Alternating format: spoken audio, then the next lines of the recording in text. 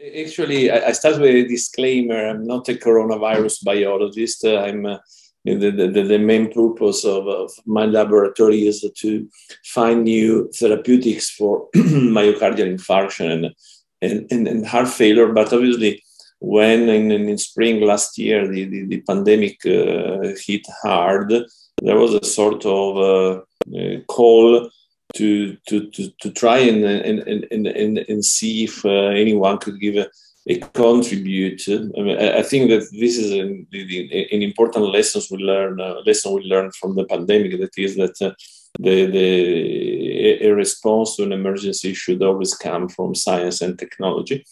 And, uh, and, and basically, uh, so we started working on, on the coronavirus, and we had uh, the opportunity of uh, analyzing samples uh, that uh, were collected from post-mortem analysis of people who died of COVID-19 at the University Hospital in, in, in, Trieste. This is mainly work of a very courageous at that time and, and, and a very dedicated pathologist, Rosanna Bussani at the University of Trieste and uh, who continued to, to perform autopsies uh, even during the, the, the, hot period in spring uh, 2020 and and uh, uh, with the, with Rossana and and uh, with Serena at, at, ICGB, we started analyzing these samples from all organs with COVID-19. We found that most of the pathology that was pertinent to COVID-19 was uh, strictly restricted to the lungs, while all organs suffered separately, but the virus was mainly in the lungs. And among the features that uh, were most striking to us were first thrombosis. There was thrombosis in, uh, in macroscopic proportions uh, in uh, several patients who died of COVID 19. These are macroscopic evidence of thrombosis uh, in uh, large uh, arteries and veins on the lung. But at the microscopic level, there was thrombosis in um, 90% of patients, including those with uh, non-severe disease and non-hospitalized. Obviously, these, all these patients died eventually, so the, the, disease was in any case serious. And, uh, and thrombosis was thrombosis of uh, the, the, the, the, microvasculature in the lungs. All these in reds here are clots that block the circulation in, in, in the lungs. And one characteristic of these thrombi was that uh, they were heterosynchronous, meaning that they were thrombi in advanced stage of uh, of, uh, of evolution, uh, fibrotic evolution, like these fibrotic thrombi you see on the right side of the slide, Together with trauma, they are much fresher with the, with the, the, red blood cells still on it. And this is a clear indication that there is a trigger from thrombosis that is endogenous to the lung as opposed to these being uh, emboli coming from uh, elsewhere. And a second characteristic that, that was very striking to us was the presence of abnormal cells, and uh, in, particular cells with uh, many nuclei that you can see here, sometimes uh, up to containing up to 20 different nuclei. These in biology are known as uh, uh, syncytia. You see that uh, the, the, there are uh, histological sections in which these large syncytia are very close to thrombi. These cytological structure were really uh, uh, peculiar and, and, and, highly abnormal. You see, these are big thrombi in, in, in other patients in these, in these autopsies. And, many of the cells of these cytological abnormalities, again, very large thrombi in an alveoli uh, close to uh, uh, vessels with uh, thrombosis.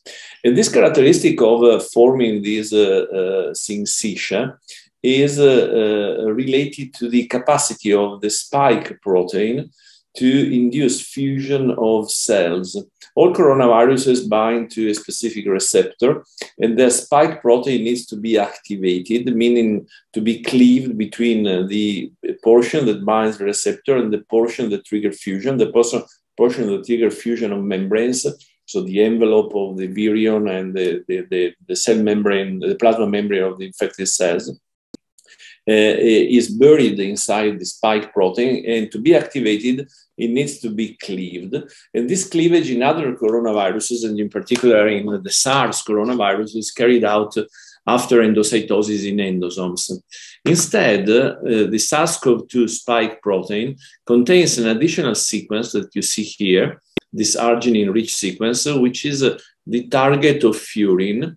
And furin proteases are expressed ubiquitously both in the endoplasmic reticulum and in the extracellular environment. Bottom line, the portion of spike that reaches the cell membrane gets activated at the level of the cell membrane, and cells directly fuse to other cells that contain the uh, ACE2 receptor. So spike on the cell membrane binds to ACE2 receptor and then fusion occurs. So these features immediately told us that uh, it was very likely that COVID-19 is not simply a disease due to a virus that infects the cells and then the cells dies because of uh, viral replication, as you would think of other uh, acute viral infection of the lung. So probably COVID-19 was a disease that somehow had to contemplate the fact that the lung contains these spike expressing cells that tend to fuse to other cells. This was in Trieste, the University Hospital and the ICGB, and then we switched to King's College London. This is uh, the James Black Center, which, uh, which uh, uh, hosts the, the, the, the School of Cardiovascular Medicine and, and sciences. And here we set up a very simple system to assess fusion. So basically, we transfected cells that express the ACE2 receptor and proteases with a plasmid expressing the spike protein. And then uh, we waited uh, overnight and uh, we observed whether the cells fused. And this is the first experiment we did which was very terrifying at our eyes because this was uh, really the first experiment we did with this virus. It is an overnight incubation of cells after transfection with spike. So here on the left side, you see normal cells, the cell boundary in red, the nuclei in white. On the right side, you see the same cell culture after just 15 hours expression of spike, which is here in green. You see formation of these very big syncytia. These holes here are probably syncytia that were so large that they detach from culture. This gives you an idea of the capacity of spike to induce fusion. This is just a five hour time lapse of cells that express spike in green. And you can see that these cells roam around, touch other cells, and then they induce the formation of these large syncytia. At the end of the story, you end up with a picture like these ones. So these syncytia in which there are many nuclei here in blue, spike is in green, the cell cytoskeleton is, is, is in red. So thinking that in, in, in the lungs and the respiratory epithelium, people infected with the SARS-CoV-2, there is this kind of structures, uh, then it is quite, quite terrifying. At least it was terrifying to us at that time, still continue to be. Here in London, we have a high throughput screening facility with a completely automated uh, Uh, uh, set, set, up, and we have libraries for uh, FDA and DMA approved uh, small molecules. So we started a screening in which we searched whether there were drugs that were specifically capable to inhibit the fusion induced by the spike protein. So drugs that could inhibit, inhibit this syncytia. In particular, we have two libraries. One contains approximately 1,200 uh, drugs. It's called the Prestwick Chemical Library. Another one uh, has approximately 2,500 drugs. So there are 700 drugs uh, overlapping between the two uh, uh, collections and uh, we screen them for inhibition of fusion. So here the scale is uh, uh, the z-score, so standard deviations from uh, the mean. So zero means no effect. Those that are uh, below zero, it means standard deviations of efficacy. And you see that here, these in red are all drugs, if drugs a dot, drugs that are highly statistically significant in inhibiting syncytia. And to our surprise, the top uh, drug in uh, one of the two collections, the second drug in the, in the, in the other collection was a drug called niclosamide. Here you see an example of, uh, of uh, niclosamide efficacy. These are big syncytia if you express spike. And these are instead cells that are still transfected with spike because they're green, but they don't fuse anymore because they have been treated with uh, niclosamide if you use these drugs, the top scoring drugs, so niclosamide, but also another drug that you use against leprosy, which is clofazimine or salinomycin, which is an antibiotic for uh, veterinary use. They also not only block syncytia, but they block viral replication. This is a, an experiment performed in collaboration with the Mike Mellin group here at King's, in which the IC50 of niclosamide against the infectious virus is in the um, uh, low uh, 100 nanomolar uh, range. Obviously, we were very much interested in trying to understand the mechanism for the inhibition of syncytia. For a couple of months, we didn't understand anything about uh, how these drugs could block syncytia.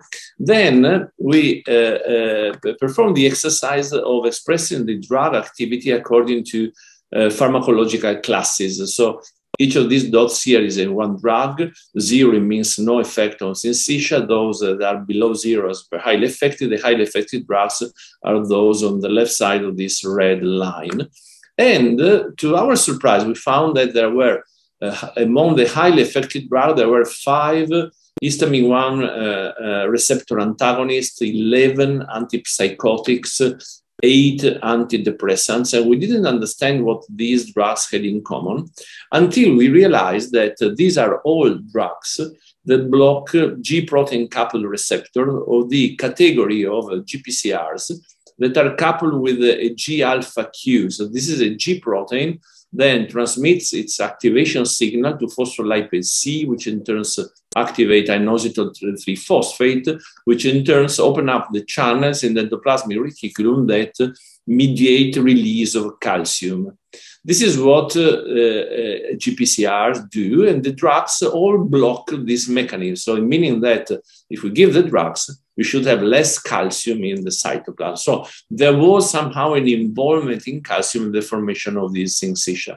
So, we teamed up with another group here of uh, of electrophysiology, King's, Juan Burrone, and his team. He gave us uh, uh, a sensor for calcium in the cells. It's called GCAM6. This is a a protein that uh, has, uh, is fluorescent uh, with an intensity that is in accordance to the levels of calcium in the cells.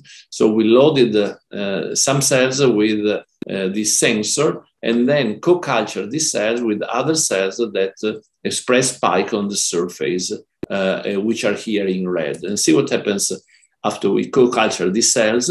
So the cells start fusing, but each time they fuse, they start flashing green, which means that there is a sudden increase in the levels of calcium inside, uh, inside the cells. It is a, an amazing characteristic of this cell that as soon as they start fusing, they start releasing uh, uh, calcium, and, and so they become green with this sensor. So if you look at an overnight with an, this accelerated movie, it's like a Christmas tree. So with these cells in, in, in the culture that uh, roam around, they find the cell that expresses spike, this is induces fusion, and they start flashing uh, uh, calcium.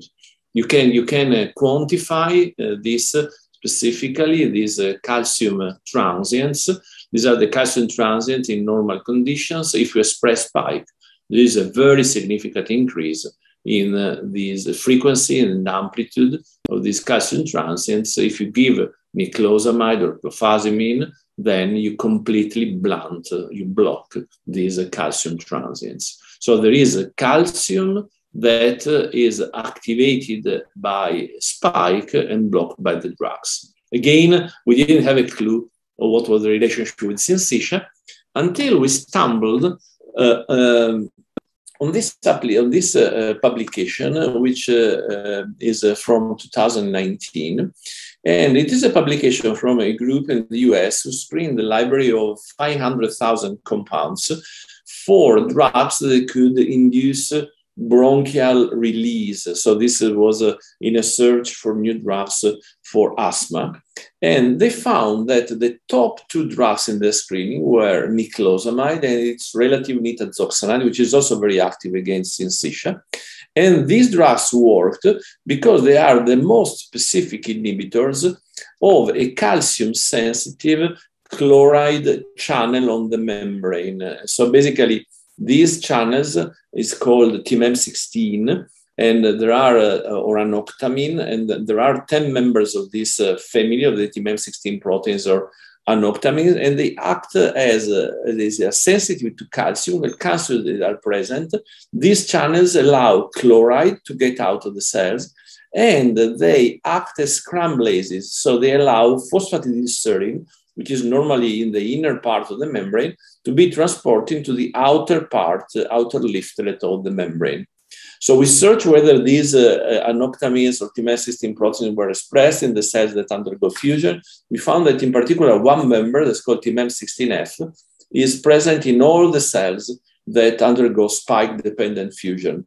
And we were very excited by this uh, finding because basically in biology, there is not a single cell fusion event in which uh, phosphatidylserine externalization or TMEM16 proteins are not involved. For example, macrophages fuse into uh, giant cells because of uh, phosphatidylserine. Myoblasts, they fuse into myoputes in skeletal muscle.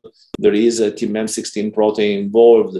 The, the placenta, uh, cytotrophoblasts becoming syncytial trophoblasts require specific TMEM16F. And in fact, if you take cells that fuse and, uh, and, and, and, you look at phosphatidylserine exposure by annexin 12, you see that uh, you provide calcium, then you have a strong uh, expression of uh, externalization of phosphatidylserine, you knock out TMEM16F, you block completely this. So basically, the model became a more uh, complex, but also more meaningful. So there is calcium induced by spike. Calcium activates TMEM16F and other members of the family, and these uh, release phosphatidylserine on the outer membrane. If the model is correct, if we knock out TMEM16F, we should block fusion, and this is exactly what happens. Big syncytia in controls, if you give an siRNA against ACE2 to block the receptor, says don't fuse anymore. If you give an siRNA against TMEM16F, cells don't fuse anymore. So basically, this uh, uh, work has uh, discovered a new mechanism that uh, controls syncytia inside induced by the spike protein. And basically, the drugs that we have discovered uh, either block calcium, and so they block indirectly activation of these channels, or in the case of niclosamide or nitazoxanide, they block directly the function of uh, uh, these uh, channels.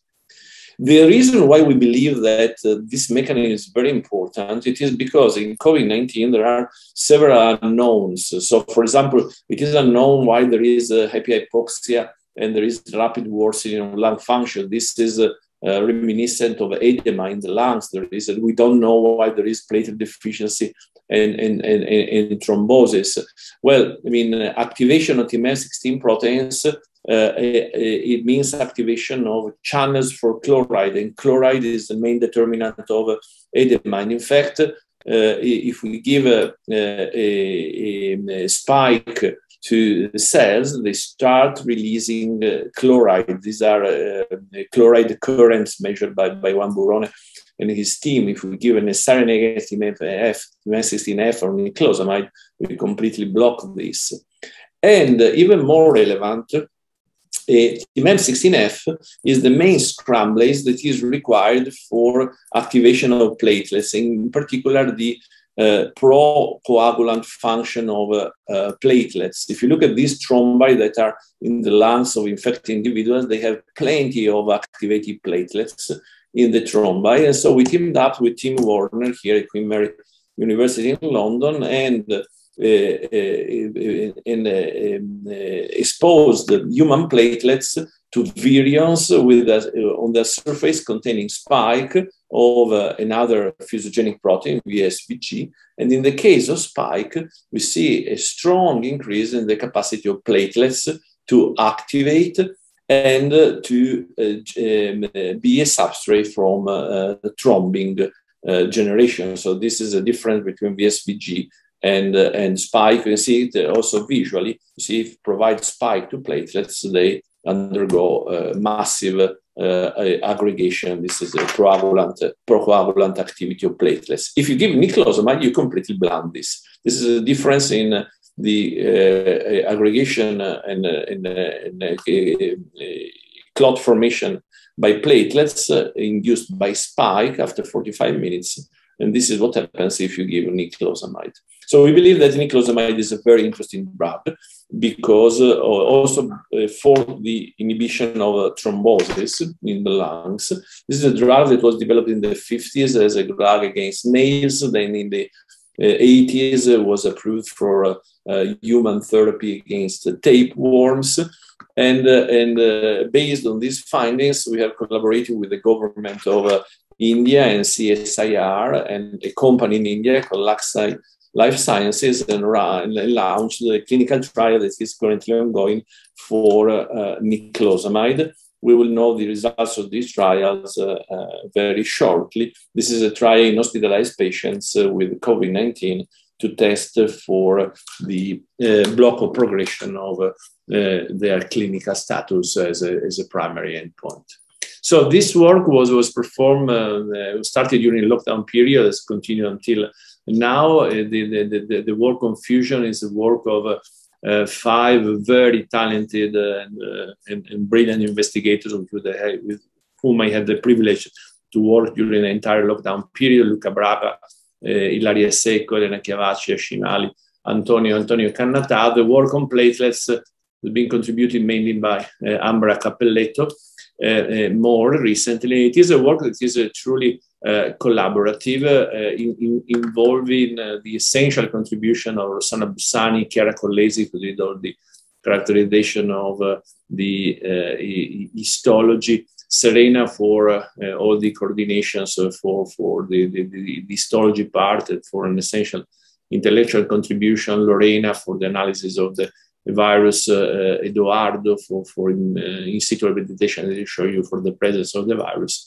And then uh, the various groups here in London, the Imperial College, King's College, and, and, and, Queen Mary. I think this is also an interesting example on uh, how advancement of science can be rapid if uh, there is really a spirit of, uh, of team working. That was my last slide, and I thank you very much for your kind attention and happy to take questions. if There is time.